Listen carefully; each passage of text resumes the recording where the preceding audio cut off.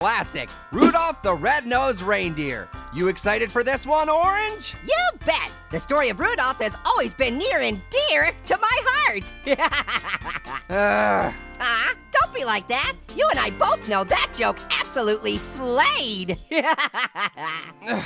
Listen, dude, it's time to quit with the jokes because I have a very important question I want to ask you.